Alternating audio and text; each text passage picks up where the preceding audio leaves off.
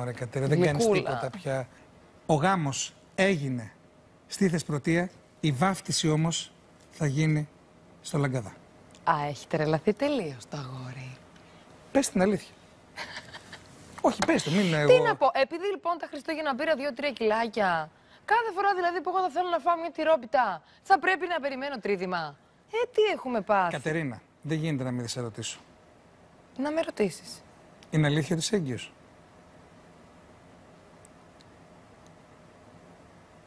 Δεν χρειάζεται να μου απαντήσεις. Δεν χρειάζεται να μου απαντήσεις. Φτάνει αυτό. Φτάνει, φτάνει, φτάνει, μην πεις τίποτα. Θέλω όμως να μου υποσχεθείς ό,τι και να είναι, με καλή λευτεριά καταρχάς, με το καλό, στο Λαγκαδά θα γίνει βάφτιση. Έτσι; Δίνεις την υπόσχεσή σου εδώ; Χριστέ. Ωραία, μην πεις, δεν θέλω να απαντήσεις τίποτα. Εγώ θα σου λέω πράγματα, ε, εσύ δεν θα, δεν, δεν θα λες τίποτα. Εντάξει, πάρα πολύ ωραία. Είναι αλήθεια ότι θα πας στη Eurovision. Μην απαντήσεις, μην Μα απαντήσεις. πρέπει κάτι να πούμε, Χριστιανή.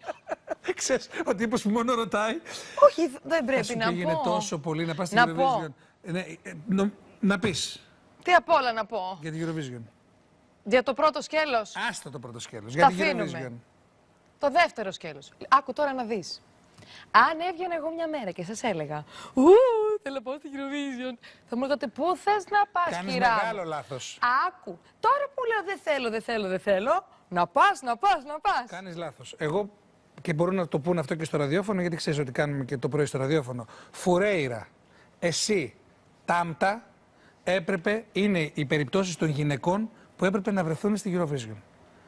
Δεν πιστεύω ότι. Δεν είναι τόσο εύκολο όσο φαίνεται, να ξέρεις. Δεν, το ξέρω ότι δεν είναι εύκολο. Θεωρώ... Όχι από άποψη ικανοτήτων. Για μένα το λέω αυτό, έτσι. Για από μένα το άποψη, καταλαβαίνω πώς το λες. Ναι. Από άποψη συστήματος, από άποψη να, να στηθεί σωστά, να γίνουν ε, οι σωστές επικοινωνίες, είναι κάτι που δεν το σκέφτομαι. Γιατί έχω πάρα